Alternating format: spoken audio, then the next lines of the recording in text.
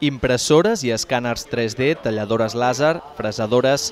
Amb totes aquestes eines treballen els 20 professors de primària i secundària que participen en cada un dels tres torns del curs d'introducció al món de la fabricació digital a l'Ateneu de Fabricació de les Corts. Organitzat pel districte i pel Consorci d'Educació de Barcelona, l'equipament s'obre a les escoles de la ciutat a través d'un programa que s'ofereix als centres educatius.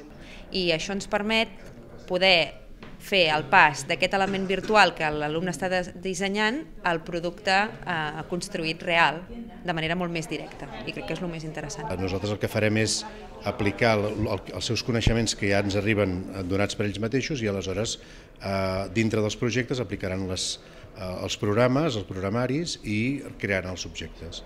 Els Ateneus de Fabricació Digital de Barcelona són un nou model de serveis cívics posats a l'abast de tothom, a banda de ser centres oberts d'investigació local de formació i producció, és clar, en tecnologia digital generar inquietuds entre la població infantil i juvenil que s'incorpori en, en aquest discurs de la fabricació perquè al final el que busquem és que la ciutat, eh, tota ella sigui un barri productiu, no? tota una ciutat productiva. La gent s'ha d'incorporar en aquesta vessant de la fabricació. No?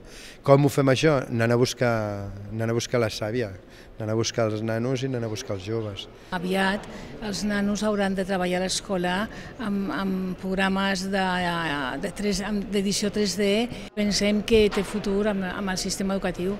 Es preveu que cada districte compti com a mínim amb un Ateneu de fabricació digital amb diferents especialitzacions temàtiques consolidant en definitiva la idea de barris productius definida a l'estratègia de Smart City de la ciutat.